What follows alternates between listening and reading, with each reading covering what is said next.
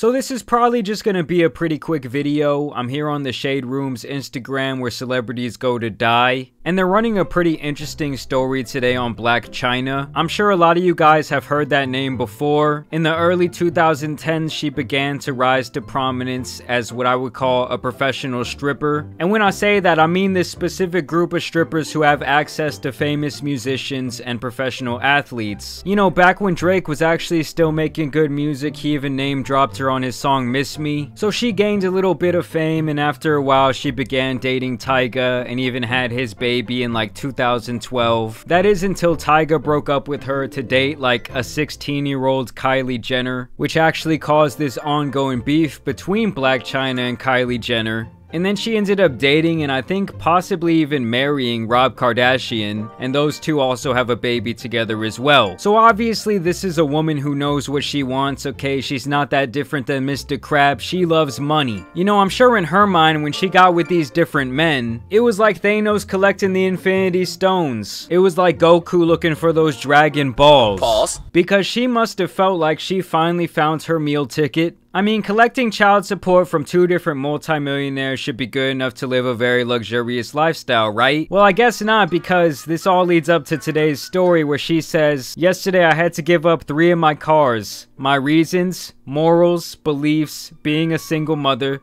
no support, I'm a mama. And then she went on to tweet, single, no support, child support. So what she's basically trying to say here is that it's her two baby daddy's fault that she had these three cars repoed. I mean, the first thought that comes to my mind is, you're not disabled, bitch. Why don't you get out there and work for yourself, work for your own money? And stop relying on money that's supposed to be for your kid to live this lifestyle. That's just fucked up. There's a ton of women out there who are doing this on a much smaller scale every single day. You know, when you actually have clowns like this guy who support this type of behavior, respect. It's time for people in the industry to be honest like she is being. Like, oh yeah, dude, we can tell you're the most honest of them all. That's why you have 67,000 followers but you only get 200 likes on your post. 67 likes on this one with 76,000 followers, you know, something isn't exactly adding up. Either way, guys, this is where she goes on to get absolutely crushed, absolutely decimated, because both baby daddies, Rob Kardashian and Tyga, came with the clapback. First, Rob steps in to say,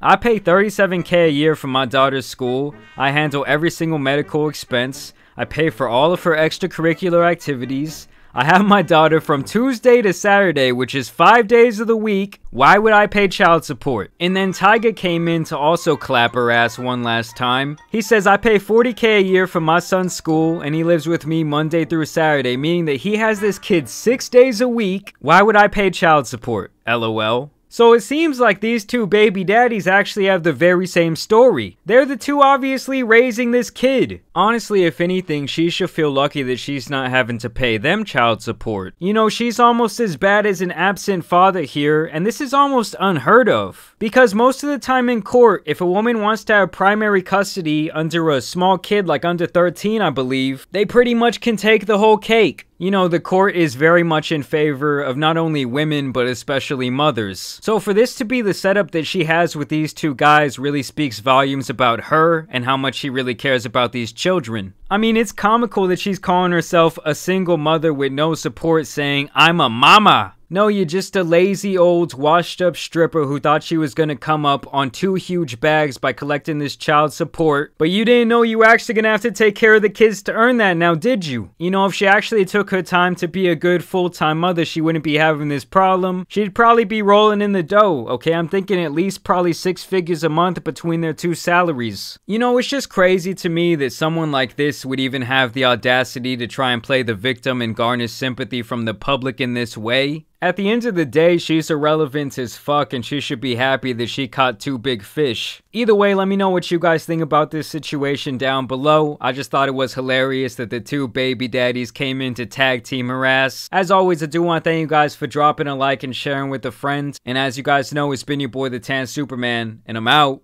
Peace!